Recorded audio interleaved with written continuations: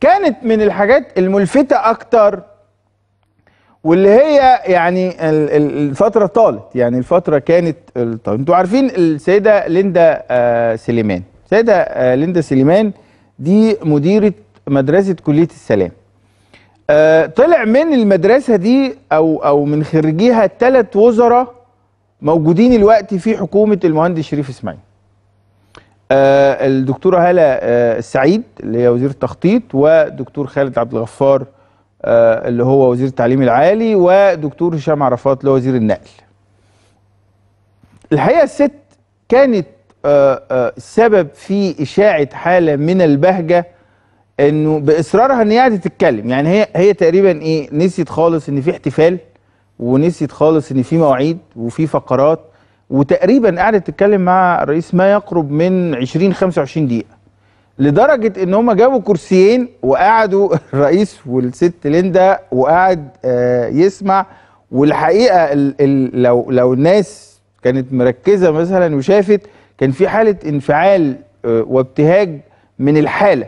من الحالة دي سيدة آه كبيرة طبعا في في السن. وكأنها استفردت بال- بالرئيس. خلاص عايزة تتكلم معاه. الناس يقولوا لها يتكلموا معاها لدرجة إنه أحد يعني آه، رجال المراسم آه، راح بيكلمها. قالت له أفندم لأن هي خلاص هي في حالة في عالم تاني. شوفوا اللي حصل ما بين السيدة ليندا سليمان والرئيس عبد الفتاح السيسي في احتفال اليوم. منذ الخمسينات رائدة في مجال التعليم ساهمت في تنشئة العديد من الأجيال علميا. وفكريا تخرج من المدرسة ثلاثة من الوزراء الحاليين وهم الدكتورة هالة السعيد وزيرة التخطيط والمتابعة والإصلاح الإداري الدكتور خالد عبد الغفار وزير التعليم العالي والمهندس هشام عرفات وزير النقل والمواصلات بالإضافة إلى الوزيرة السابقة الدكتورة نادية زخاري وزيرة البحث العلمي الأسبق.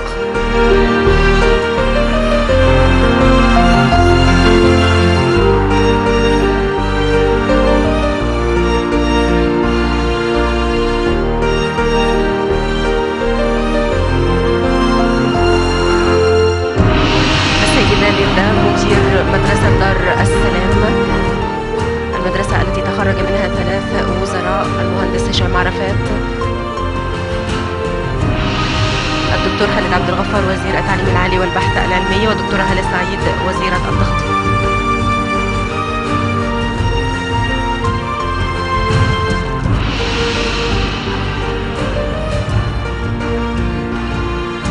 السيد الرئيس يستمع إلى السيدة ليندا معلمة الأجيال وصاحبة الخبرة الكبيرة في مجال التعليم. وهي تكرم اليوم كأم مثالية في يوم المرأة المصرية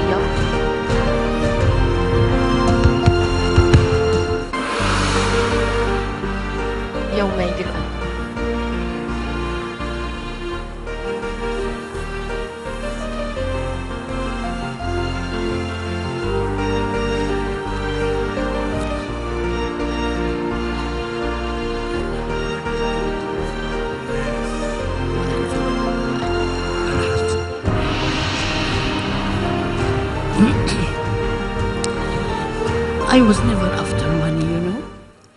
لم أكن يوما ما وراء مكسب المادي ولكني استثمرت دمي وشبابي في تربية النشء كانوا كنوز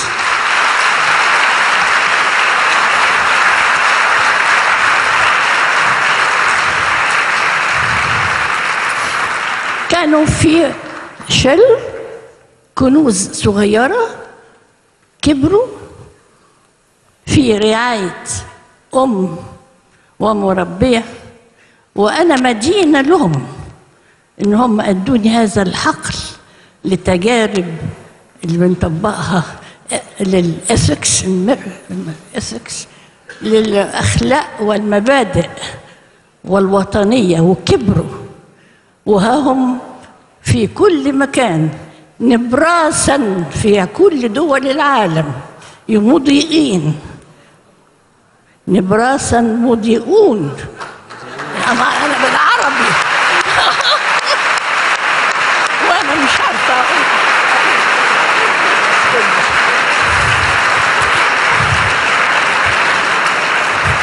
كانوا بيقولوا إن أنا مش بعرف عربي بس أنا بعرف عربي. أنا بعرف عربي. وأنا وأنا تلامذتك اهو آه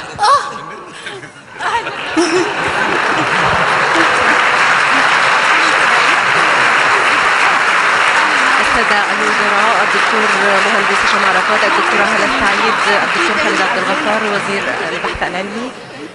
يصافحون السيدة ليندا طولوا أنا I am 96 you know.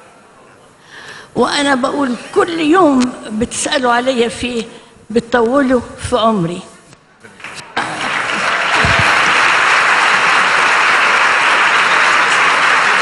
آه طبعا طبعا. الوفاء والتقدير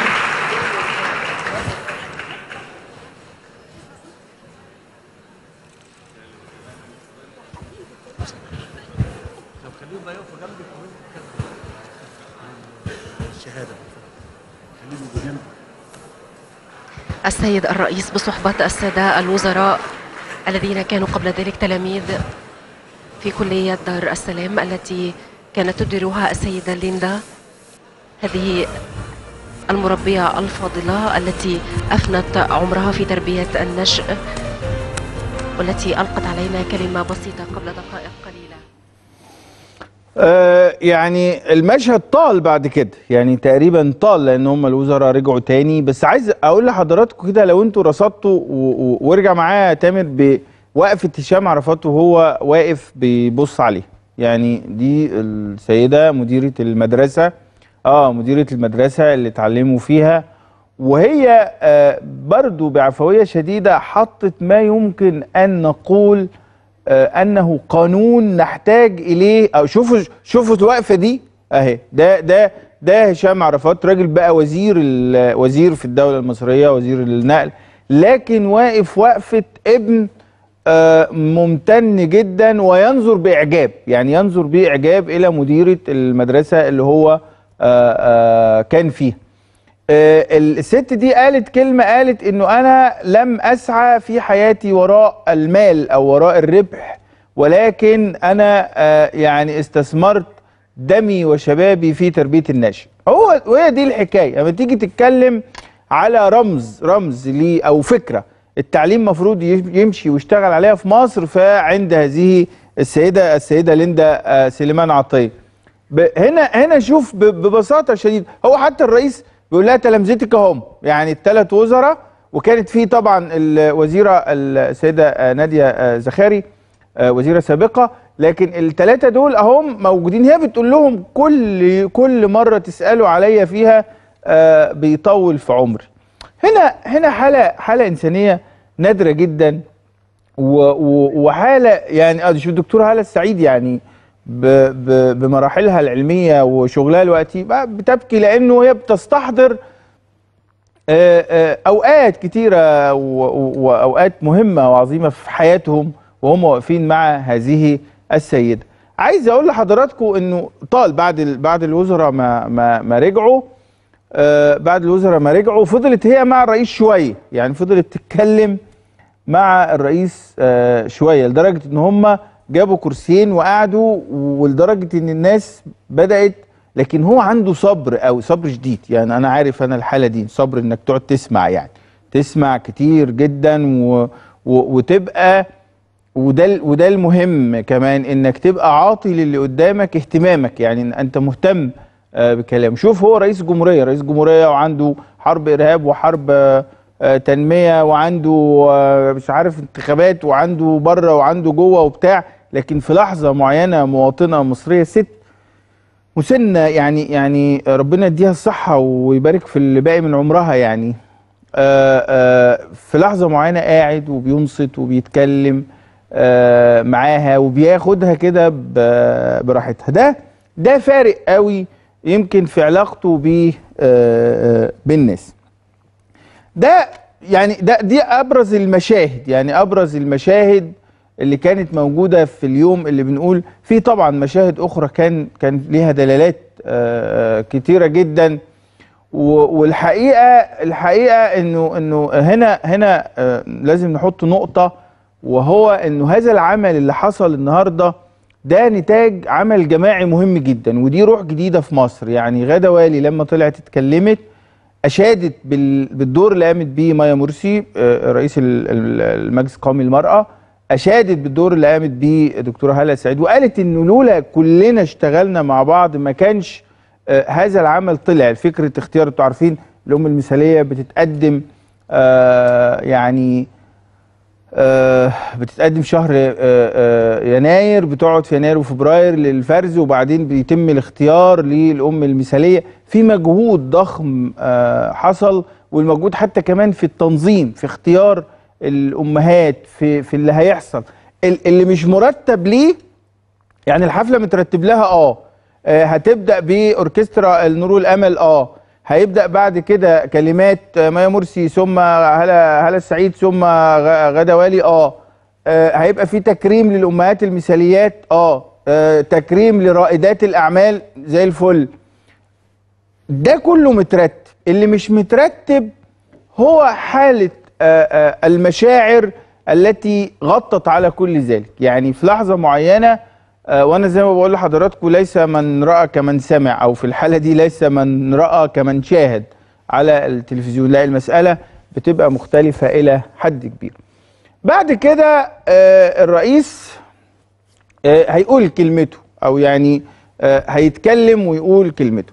وإن كان خلينا نخرج فاصل يا شباب فاصل قصير كده وأرجع لأنه الكلام اللي قاله الرئيس بقى بعيد عن المداخلات يعني وانه يسمع من السيدات هو الكلمة اللي قالها سواء الكلمة اللي مكتوبة أو الكلمة التي قام بارتجالها آه، مهمة جدا لأنها مش مرتبطة بتكريم الأمهات بس ولكن مرتبطة بالوضعية السياسية آه، التي نعيشها الآن ومرتبطة كمان ب آه، آه، الانتخابات الرئاسية اللي المفروض هتتم في الداخل في آه، آه، 26 27 و28 مارس تبدأ يوم الاثنين الجاي إن شاء الله. خلينا ناخد فاصل قصير وأعود مرة أخرى إلى ما قاله عبد الفتاح السيسي في الاحتفال بيوم المرأة المصرية 2018.